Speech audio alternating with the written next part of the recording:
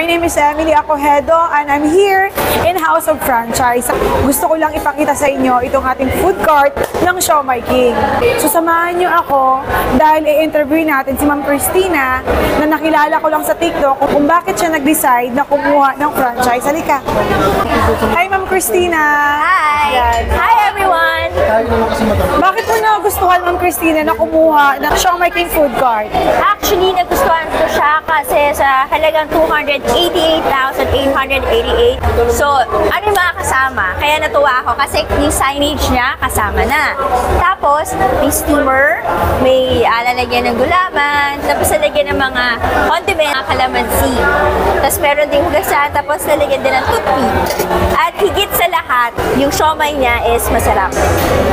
Maganda dito Ma'am Christina, walang royalty fee. Mm, isa pa yan, kaya ako kumuha na ng Shopee team because of that. Sobrang sulit na sulit, diba? Parang Miss M, parang kunwari wala rin ako 288, diba? Paano ako magkakaroon ng negosyo since masarap yung siomay? Kung wala ka pang 288,888, okay lang. Dahil pwede ka magsimula for only, 17,888 lang. yes, tama yung narinig nyo. Hey, Actually, pag inisip mo nga, mas mahal pa yata yung cellphone mo, di ba? But this is to, 17,888. Meron ka ng business, di ba? It's a digital community. Ang daming special privileges dito sa House of Franchise. Kaya sobrang sulit talaga. Imagine, pwede ka nang kumita sa online. Wait, tanongin natin si Kuya. Magkano kinikita mo? Ngayon po, nasa ano Kasarap ang siomay. Kaya kung ako sa inyo, since um, mura siya, grab nyo na yung opportunity na mag-business din, di ba? Grabe, 8 to 10,000 a day. Pag kinumpute mo yan, bilis bumalik ng ating ROI. Ang sarap ng siomay. Sinap din gulaman. Sorry, gutom ako eh. Sobrang favorite ko itong Japanese siomay niya.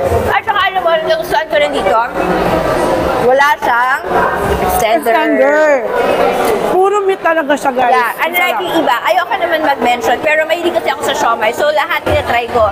Pero this one, kaya rin ako napaka-franchise nito kasi yung lasa niya is very masarap, hindi siya pilit, no? Hindi rin, parang maraming MSG or something. Kaya nakapag-franchise din ako nito. Tsaka sobrang sulit kasi very affordable. At saka alam mo, isa pa nagustuhan ko dito sa Siomai King, yung garlic sauce niya, hindi tinipid. Swak na swak yung lasa niya. Diba? Sarap! So if you are looking for a business to start, message mo lang kami for more details. So thank you so much! Bye!